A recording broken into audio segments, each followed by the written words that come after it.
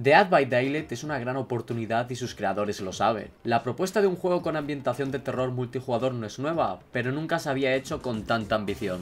El amor de sus creadores por aquello que nos perturba se refleja ya no solo en los personajes que ellos mismos dieron a luz, sino en aquellos a los que reclamaron a modo de homenaje. ¿Quieres saber qué macabras historias hay detrás de cada uno de ellos? Pues vamos allá. ¿Qué pasa, infectados? ¿Tenéis ganas de dejar de hacer eso que se llama dormir? Nosotros ya no podremos hacerlo nunca más, y hemos aprovechado este detalle para empaparnos de las historias de todos los asesinos de Dead by Daylight, y traerosla claramente. Como son muchísimos, vamos a dividir este vídeo en dos partes, que así no se alarga tanto. Porque hay historias que tienen mucha chicha os lo aseguramos. Vamos con el primero, como dijo Jack el Destripador. Vamos parte por parte. El primero de ellos es el trampero, Trapper en inglés. Vivía con su padre en su finca y le admiraba y obedecía a partes iguales. Su padre, Archie Macmillan, dirigía a sus subordinados con mano de hierro. La salud mental de Archie fue deteriorándose y al final acabó volviéndose peligroso. Su hijo, por obediencia y por la voluntad de mantener vivas sus aspiraciones a la herencia de su progenitor, se convirtió en su mano derecha, y con ello, en el mayor asesino de masas de la historia moderna. El cuerpo de Archie Macmillan fue encontrado abandonado en el sótano de un almacén. Pues vaya perlita. Aunque claro, si hay mucho dinero de por medio, yo también haría locuras para locura la que hice el otro día con una cobaya bebé, un sujetador y un pedazo de mi... Cuidado con lo que dices, no vaya a ser que termines como ciertas personas de la siguiente historia, que sería la de Philip Ohomo, el espectro, eh, Wraith en inglés. La historia de Ohomo trata sobre el engaño. Inmigrante venido de África a Estados Unidos, se vio obligado a trabajar en un desguace llamado Auto Haven, Ahí se encargaba de machacar coches viejos que llegaban al lugar con una prensa. Lo sorprendente es que muchas veces se presentaban policías para hacer ciertos negocios con sus jefes. Un día se percató de que dentro de uno de esos vehículos se encontraba un joven, al que liberó de inmediato. Dicho joven fue asesinado por su jefe en cuanto lo vio. Entonces vino la verdad. En todos esos coches que destrozaba se había escondido a ciertas personas que se quería hacer desaparecer de la faz de la Tierra. Por tanto, le habían convertido en un verdugo involuntario. Enfurecido, lanzó a su jefe a la prensa para que lo aplastara. La cabeza de este quedó fuera y Ojomo, en un ataque de furia, se la arrancó del cuerpo junto con la columna vertebral antes de huir. ¡Ole! Eso les espera a los jefes malotes. Espera que voy ahora y llamo a mi jefe y le cuento esta historia. ¡Para! ¡No lo hagas! Que como te detenga la policía no vas a poder seguir contando historias. ¿Eso es todo para lo que me quieres? No, hombre, para mucho más. Oye, eh, ¿puedo dejar de limpiarte los zapatos ya? Eh, la siguiente historia es la de Max Thompson Jr., alias el pueblerino.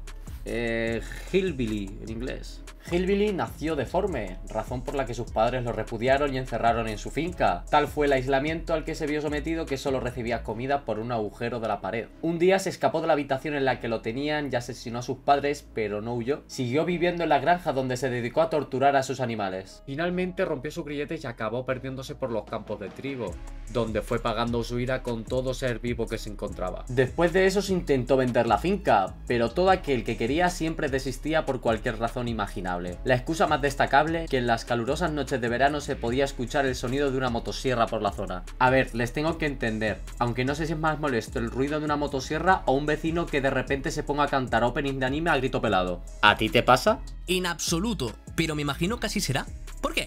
Porque yo lo hago. Y ahora acabo de caer en que a lo mejor molesto a los vecinos. Creo que me está dando algo. Ah, tranquilo. Podemos llamar a enfermeros que te atiendan, pero no a la de la siguiente historia. Hablamos de Sally Smithson, la enfermera.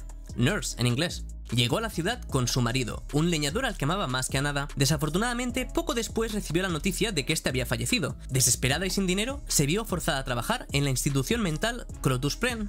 Desempeñó ese oficio durante más de 20 años, pero entonces su mente ya no pudo más. Todo lo que vio en ese lugar la trastornó y la llevó a asesinar a más de 50 pacientes, muchos de ellos encontrados a posteriori con signos de asfixia. La metieron en una ambulancia para llevar a un hospital, pero esta se estrelló y cuando la policía llegó a la escena no encontró rastro alguno de la enfermera Sally Smithson. En las anteriores historias no se ha mencionado, pero a partir de ahora vais a empezar a escuchar algo de una cierta niebla o presencia que se lleva a la gente.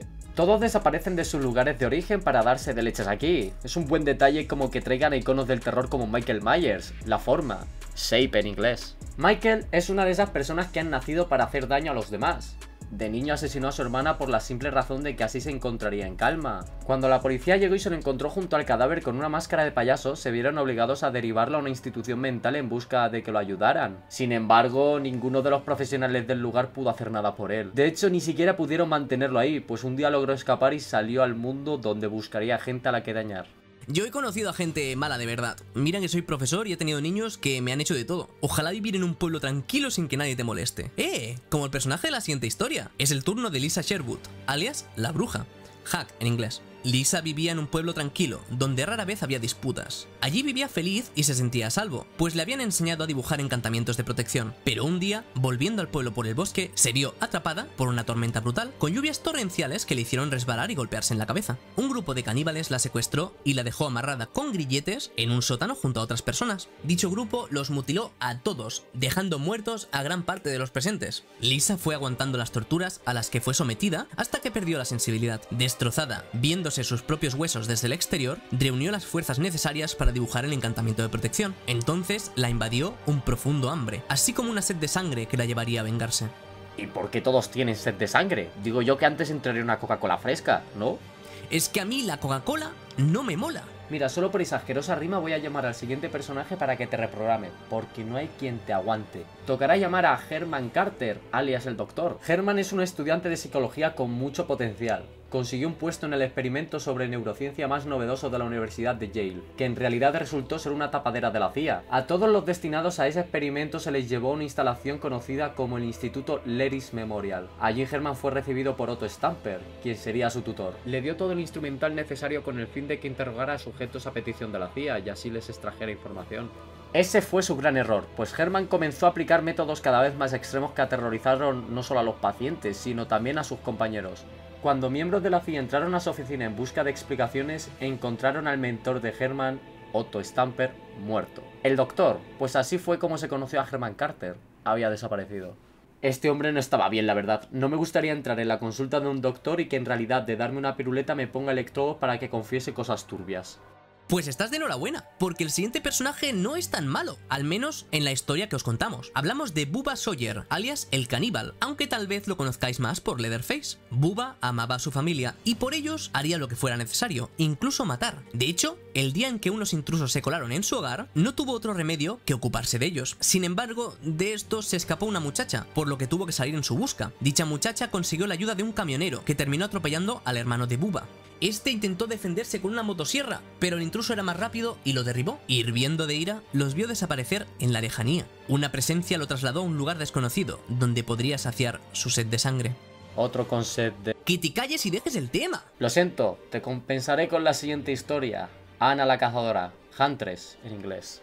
Nació en los bosques del norte, donde fue educada en la supervivencia por su madre. Vivía en una cabaña junto a ella y sobrevivían a duras penas. Ana poseía juguetes y máscaras de madera que simulaban caras de animales. En un intento por cazar al alce, su madre fue embestida por el animal y así ensartada por su cornamenta. Ana tuvo que asesinar a la criatura a chazo limpio, tras lo cual se quedó junto al cuerpo moribundo de la mujer que le había dado la vida. Al ser una niña y por tanto incapaz de cargar con ella, Ana se tuvo que quedar a su lado hasta que lo vio morir tanto a ella como al alce. Con el fin de sobrevivir tuvo que cazar cada vez animales más grandes, hasta que al ver que a varias personas se colaban en su territorio pasó a cazar personas. Eso sí, las únicas a las que evitó asesinar a toda costa eran las niñas, a quien ataba paredes junto a muñecos de madera como recuerdo de su infancia. Sin embargo, no podía evitar que éstas finalmente murieran de frío o hambre. Decidió asaltar pueblos cercanos para asesinar a sus habitantes y secuestrar a las niñas, pero éstas siempre terminaban muriendo. Cuando llegó la guerra, los alemanes tuvieron que cruzar el bosque para atacar Rusia. Escucharon rumores de una cazadora de los bosques. Y pasamos ahora a un bichejo bastante más conocido. Pasamos al Demogorgon. La criatura venida de ese otro lado conocido como el mundo del revés es un ser muy poderoso y feroz. Su aspecto aterrador, con esa inconfundible cabeza que recuerda a una flor pero que está repleta de dientes, constituye una pesadilla recurrente para todo aquel que se lo haya encontrado. El Demogorgon es capaz de viajar entre dimensiones para atormentar así a la gente y poderlos llevar a versiones alternativas de sus mundos. A pesar de su gran poder, no es un ser que abuse de su inteligencia, sino que suele destacar por su fuerza bruta y su ferocidad. Un enemigo muy a tener en cuenta.